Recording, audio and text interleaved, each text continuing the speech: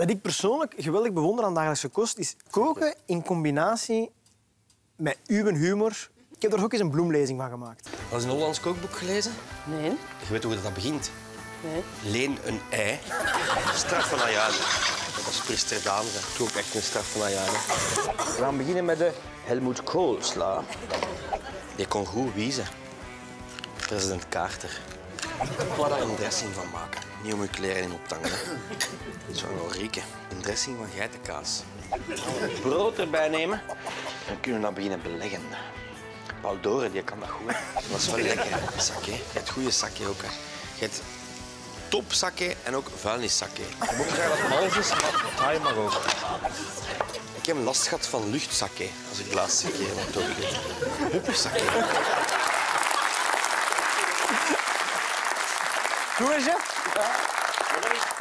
Daar, dat is het toffe aan dat programma. Dat is, dat is hetgeen wat mij drijft. Doe dat echt het liefste op aarde. Er was nog een opmerkelijk nieuwsbericht in 2019. De kampioenen komen terug. Nu speciaal voor Jeroen. En voor de meer dan 1 miljoen andere fans heb ik een primeur. Jeroen, jij bent een top quizmaster. Een topkok, dat zei je ook al jaren. Maar vanaf nu zijn je ook een topscenarist voor FC de Kampioenen.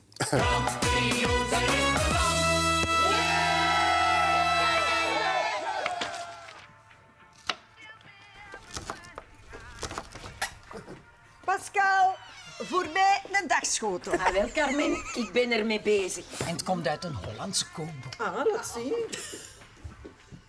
Stap 1. Leen een ei.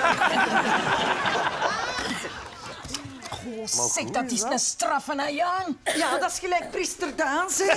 Dat was ook een straffe. En weet je wie er een hele gezonde Duitser was? Ja. Helmoet Koolsla. Bonjour. Ja, Pascalke bij Berk. En wat is dat tegenwoordig? Sake. Maar pas op, de goede sake, hè. Want je hebt topsake en hebt vuilnissake. En toen dat ik vorig jaar op het vliegtuig zat, hè, dan had ik een luchtzakje. Hupsakee. Wel, hè? Weet je wie dat er goed kon wiezen? President Carter. Hé, ma, voilà. Hier is uw geitenkaas. Ah ja, dat is voor de dressing. Jij de kaas in de dressing? Dan maak met een frak die je moet stinken. Eh, die gewone, die hadden ze niet. Het is er maar olijven. Nee, olijven niet. Dat is lastig. Olijven niet, dat is troebels.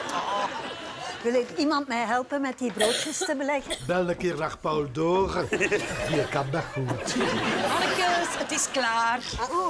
En het is iets Thais. Iets thuis? Thais? Maar zeg, dat is goed.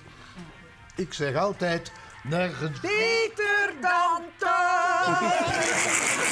Nergens beter dan dagelijkse kost. Mijn gedacht.